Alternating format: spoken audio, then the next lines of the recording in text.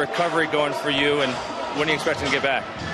Yeah, you know, it's pretty unfortunate. I had a little bit of an injury, but uh, you know, got it taken care of, and my progress, it's, it's been great. You know, uh, had surgery 14 days ago, uh, you know, to this day. So, um, you know, I've been running and, you know, cutting pretty hard. It's, it's pretty amazing, uh, but uh, um, it's, it's great. It's right where I need